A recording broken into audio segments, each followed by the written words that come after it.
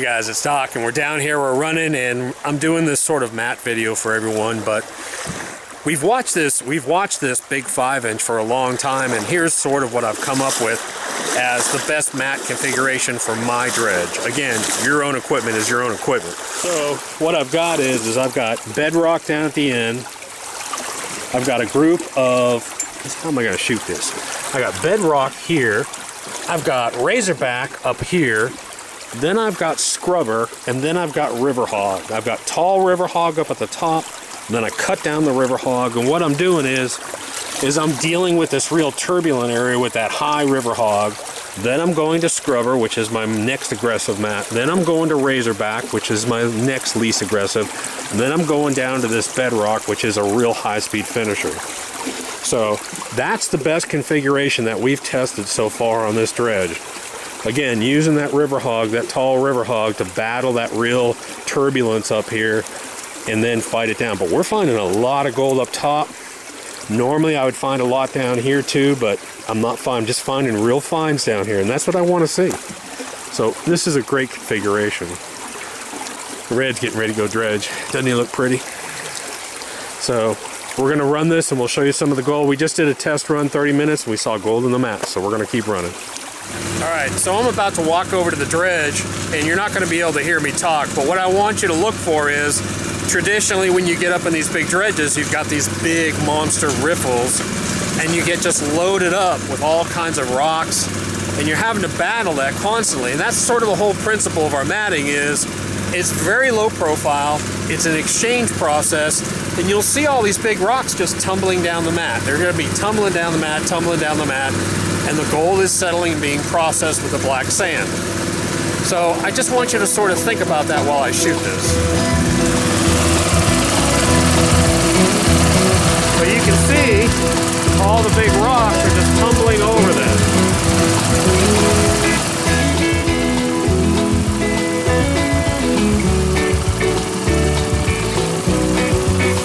But even the smaller rocks, this, they just come tumbling down the mat the gold gets processed through.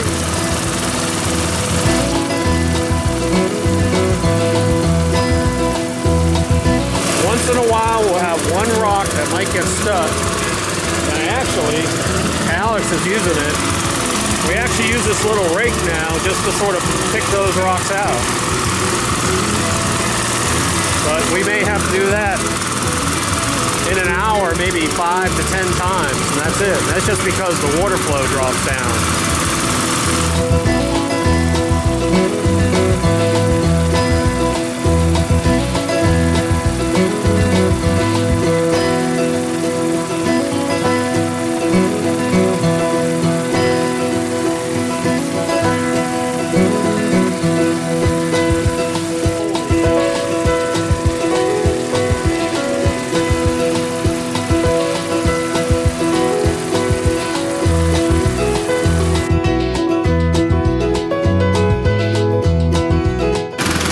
Guys, I figure I'd show you how we test for losses real quick. You'll see it.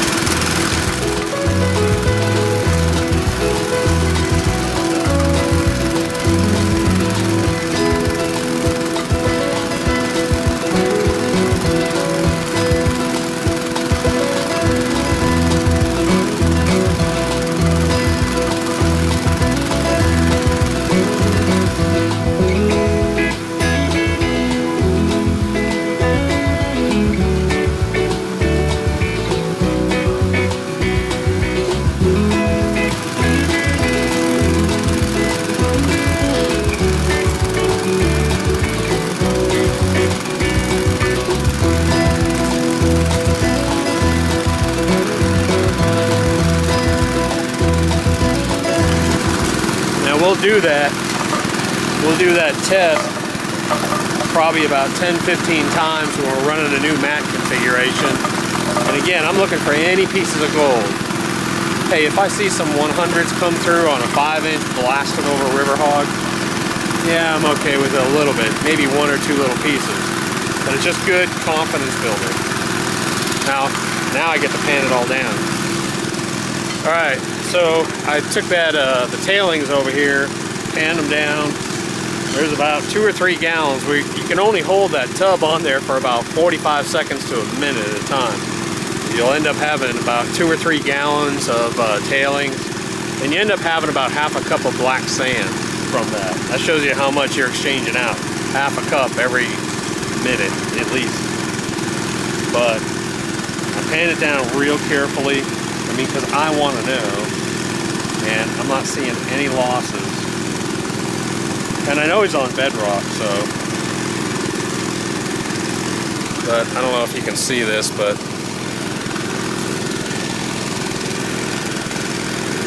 But I'm going through here and I'm checking for any losses whatsoever. I mean, even 100s, 150s. I mean, I want to know if there's anything getting out, I want to know it. So, I mean, I'm going down to super fine black sand and looking for any single dots.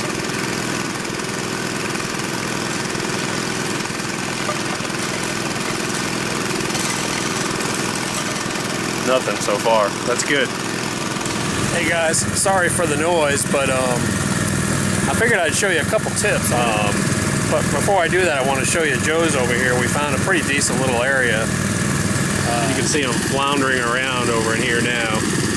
But he's pretty deep. I mean, you can see nothing but feet over there.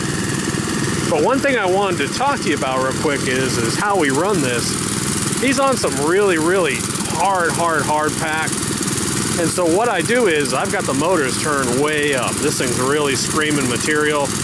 And what we do is we use this uh, air, air compressor to change the pitch on our machine. So we'll go back and forth with that air compressor to actually change the pitch. So if I'm running real high volume with water, I'll move it forward and have a little bit less pitch on the unit. If I'm running lower, I'll move it back and I'll have a little more pitch on it. So I wanted to show you that real quick. I wanted to show you the rocks. You're not going to be able to hear me, but I want to show you the rocks we're putting through.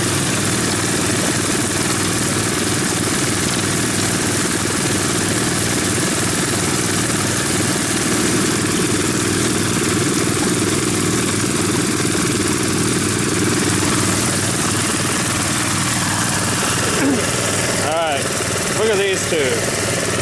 Those are monster rods. They actually got caught up a little bit. Well, that's a pretty rock right there. That is a beautiful cork. uh, I just dove and did about a 30 minute test run on this spot. Got the dredge, the 5 inch over here. And we're working this area we've worked, we've worked this spot so many times, but there's these huge boulders in here. And that's what we're doing. But I want to show you something real quick. Again, this just when you hit a good spot, you hit a good spot. But here's what I want to show you. So here's the amount of cons. This is the amount of cons from the five inch dredge, okay? It ends up being about a gallon. So I took this corner and then I panned it out. And I want to show you this. This is really cool. I want to show you this wire gold here.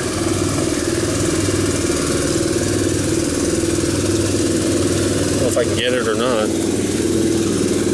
But this is really cool here. This There's a bunch of wire gold in here and it's so neat looking. But again, I'm finding, I'm I'm getting 100s, 150s, tons of fines, 200s. I mean, I'm seeing tiny, tiny, tiny gold in here.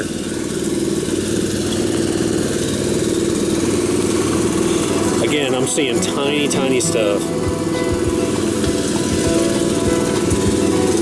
You can start to see them in here, maybe. Might have to get it in the shade.